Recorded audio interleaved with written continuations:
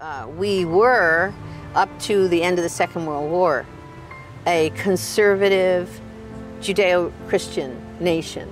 The turning point for all that was Dr. Alfred Kinsey, his book, Sexual Behavior in the Human Male, 1948. He was the father of the sexual revolution and therefore the father of everything that has come from that. And certainly one of the key things was pornography. Dr. Alfred Kinsey ushered the destruction of our nation's moral code with his books, Sexual Behavior in the Human Male and Sexual Behavior in the Human Female, known as the Kinsey Reports. The world recognized him as the leading scientific expert on human sexuality. The reports claimed that humans were sexual from birth and that what we deemed as immoral sexual behavior was actually normal, thus making it moral. Once a biologist who studied gall wasp, Kinsey's obsession with sexuality led him to found the Kinsey Institute for Sex Research at Indiana State University. What people to this day are not aware of were the methods he used to collect his data. And I looked at the graphs that he provided 30, 31, 32, 33, 34 tables. And I said, wait a minute, that's a two month old baby. What, how does he know a two month old baby did or did not have an orgasm? And then table 34, a four year old child. Uh, 26 orgasms in 24 hours. That's an around the clock experiment. Wow, that's torture. That's torture, you bet. He also actually employed bona fide pedophiles to, uh, to do what they did to children for his so called data. Kinsey wanted to prove that we are sexual from birth, so it wasn't surprising that he drew his data from pedophiles, rapists, and murderers. They were the perfect sample because obviously a rapist pedophile will have a skewed perspective on sexuality, convincing himself that his victim finds pleasure in the act of being raped. Using a stopwatch and a ledger, they recorded their sexual experiments, systematically molesting thousands of young children under the guise of science. This research was compiled in his books, Sexual Behavior of the Human Male and Sexual Behavior in the Human Female. He said we, I had 196 pre-adolescents under 12, and he broke them up into six categories. And fainting, convulsions, screaming, writhing, you know, striking what he called their partner, that's somebody who's raping them. Okay? And they were trying to get away, but he said they enjoyed it. They definitely enjoyed it. The research in Kinsey's books were partly based on the collection of data and confessions of a Nazi pedophile during World War II, Dr. Fritz von Balluseck, who raped hundreds of children. After the war, the Nazi officer was charged and put on trial for the murder of a 10 year old girl. They found detailed records of von Balluseck's heinous sexual acts with children, revealing his correspondence with Kinsey. Dr. Kinsey, who was fully aware of the Nazi officer's atrocities, warned him in his letters to be careful and encouraged him to continue his research.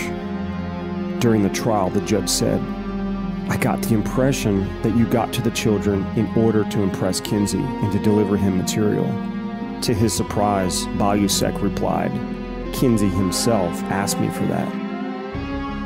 Now, that ah. became the foundation for the sex educational structure that fed itself into what we are teaching our children right now as we sit here and speak.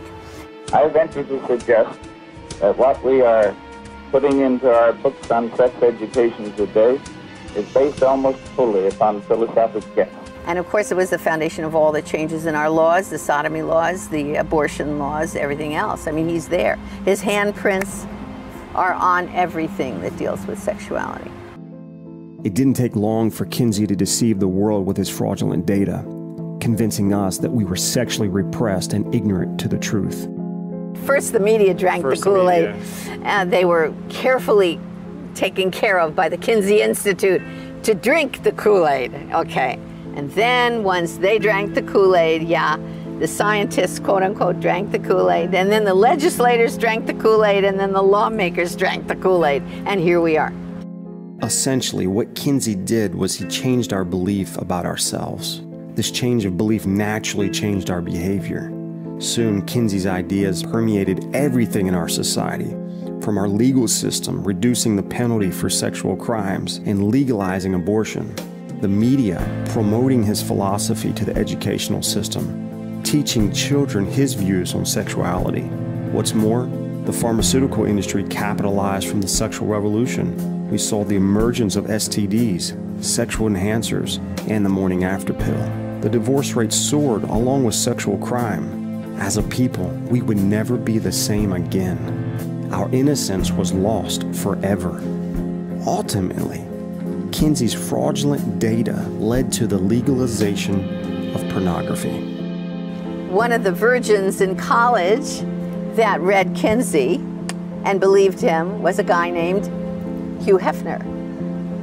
Ah. Okay, yeah. So he's in So college. Hefner was yeah, an he's- advocate for he, well, Kinsey's- he reads Kinsey and he says, "Hey, everybody's been lying to me. Uh, they've all been diddling around doing all this stuff, and I have been standing here being a nice guy. Forget it." He says, "I will be," and I'm quoting him, "Kinsey's pamphleteer. I will be Kinsey's pamphleteer." really. So from there, he began to advocate for changes in law, and he created a magazine called Playboy. Playboy, which then he said would reflect what Kinsey had found about human sexuality In his in fraudulent. his fraudulent data. America was educated by a pedophile whose work was labeled as science.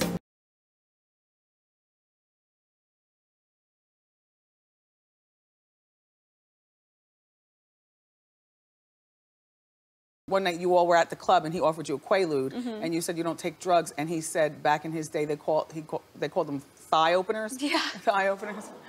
Um, does did Hef take Quaaludes? Oh, I don't know if he actually took them, but I saw him offer them to girls almost every night we went out for a couple of years early on. Wow.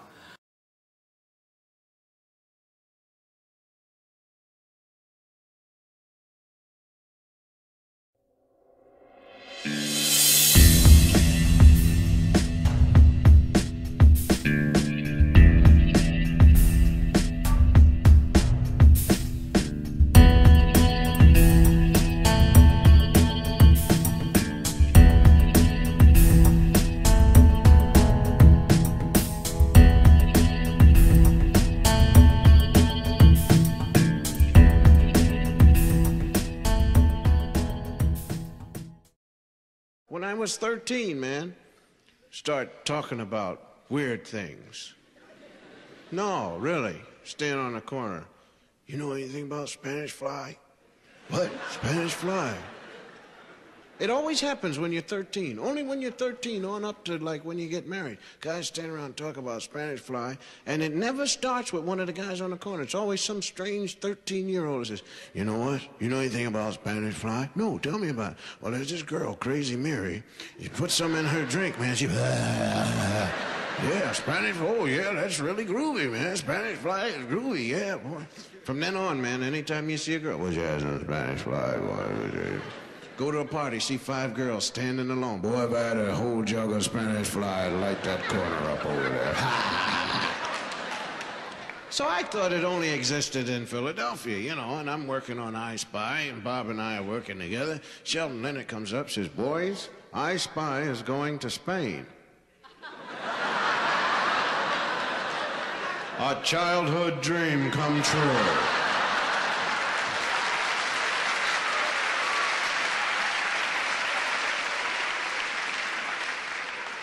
I said to Bob, you know, 'cause he don't know nothing about it. I said, hey, Bob, you know what I'm going to pick up when I'm in Spain? He said, Spanish fly. I said, wait a minute, man. How'd you know about it? He said, are you kidding? There's a girl in my neighborhood in Berkeley named Crazy Mary. We gave her some.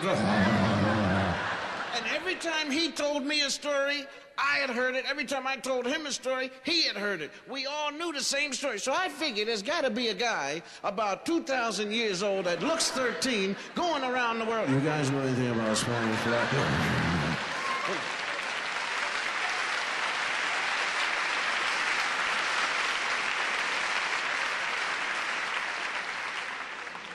So Bob and I, man, we're just singing. To get some Spanish fry, Spanish fry, love it, love. And we're riding on the plane, Spanish fry, Spanish fry. And we get in and go through cussing. This is the land of Spanish la, Spanish fry. We get in the cab, Ryan, driver. Bob said, ask this guy if he knows where we can get some Spanish fly. I said, you know, ask the cab driver. No, ask the cab driver. He may know, man. Driver, say, senor. Listen, uh, you Spanish? Si, senor, you American? Yes. You come from America? Yes. You could tell me maybe you brought with you some American fly?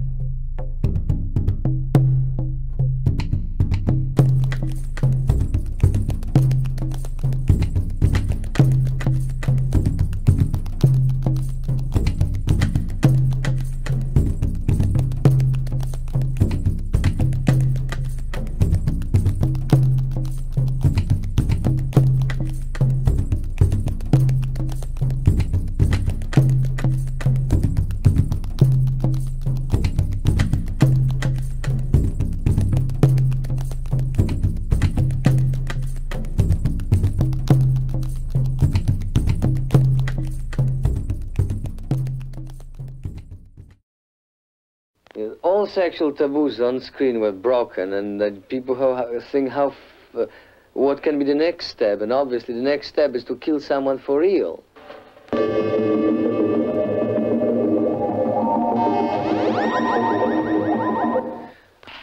Because such films wouldn't be made if there were no market for it. I think that film only reflects what the world, what the society is about.